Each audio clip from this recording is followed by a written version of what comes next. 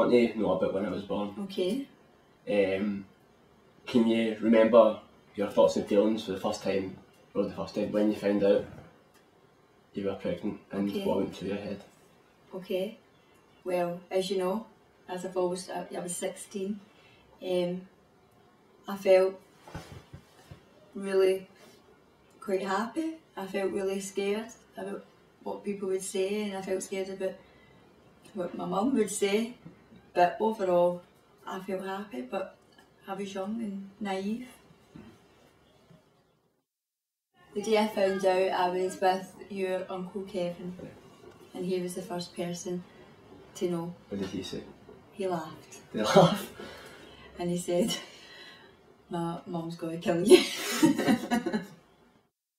Did you begin to think about what the future would hold for you and Dad and everything around else? Yeah, What did you think? pretty much straight away. Um,